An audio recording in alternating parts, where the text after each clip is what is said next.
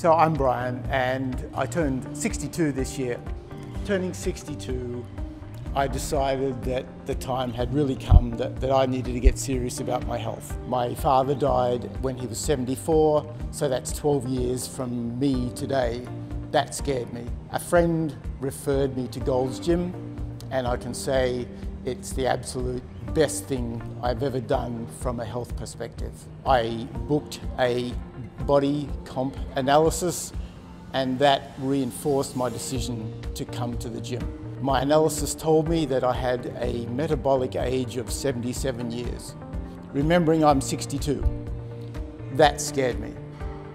Not only that, but all my numbers, my percentage of fat, my visceral fat were all in the red. Not good. After six weeks of coming to the gym, average five days a week, I did another body comp analysis. It showed that my numbers had dropped into the amber. Also, my metabolic age had dropped to 61. I was stunned. And to be honest, so were the trainers. Four months down the track today, my metabolic age has dropped to 47. In four months, I have dropped 30 years in internal organ age. I couldn't be any happier. The trainers here are fantastic.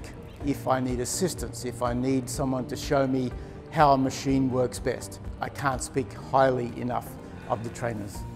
Joel is always here.